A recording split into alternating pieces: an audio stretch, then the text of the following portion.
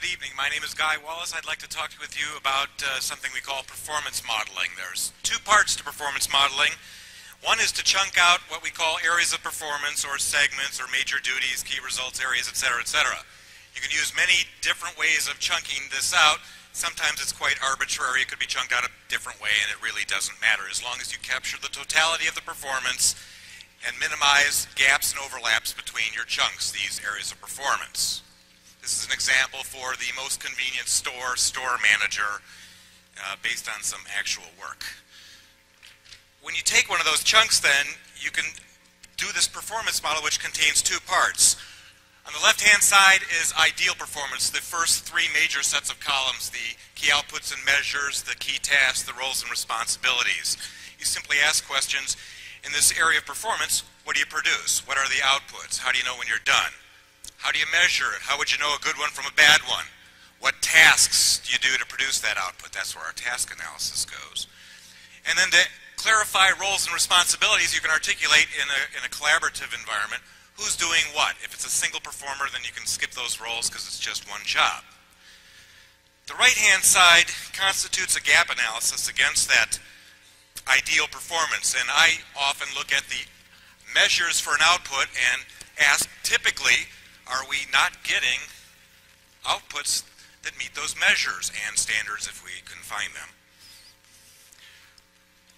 If I find what those uh, performance gaps are, if I'm really looking for qualified uh, employees and I'm getting poor choices made, and unqualified candidates, however the master performers or subject matter expert articulate that, you can then do probable gap causes, or if you have a lot of time, you can do root cause analysis and make darn sure you're really getting to the root. But if you're dealing with master performers who bail out other performers, often they know what the causes are, and then you contribute those causes back to deficiency of environment, deficiency of knowledge and skills of the performer, or deficiencies of their individual attributes and values. Thank you. One is to chunk out what we call areas of performance or segments or major duties, key results areas, etc., etc. You can use many different ways of chunking this out. Sometimes it's quite arbitrary. It could be chunked out a different way, and it really doesn't matter as long as you capture the totality of the performance and minimize gaps and overlaps between your chunks, these areas of performance. This is an example for the most convenient store store manager uh, based on some actual work. When you take one of those chunks then, you can do this performance model which contains two parts. On the left-hand side is ideal performance, the first three major sets of columns, the key outputs and measures, the key tasks, the roles and responsibilities. You simply ask questions, in this area of performance, what do you produce? What are the outputs? How do you know when you're done? How do you measure it? How would you know a good one from a bad one? What tasks do you do to produce that output? That's where our task analysis goes.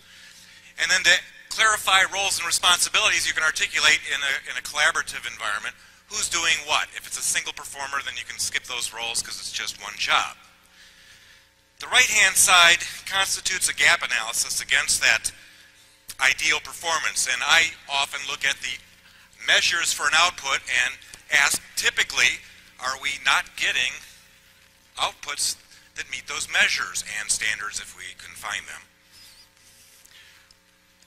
If I find what those uh, performance gaps are, if I'm really looking for qualified uh, employees and I'm getting poor choices made, and unqualified candidates, however the master performers or subject matter expert articulate that. You can then do probable gap causes, or if you have a lot of time, you can do root cause analysis and make darn sure you're really getting to the root.